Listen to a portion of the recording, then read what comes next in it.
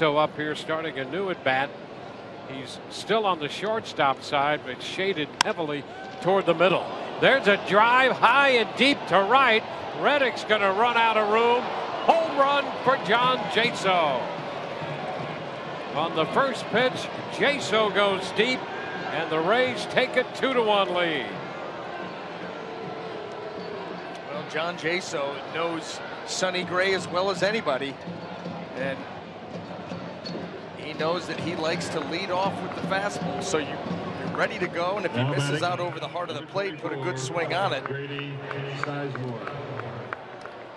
here it is.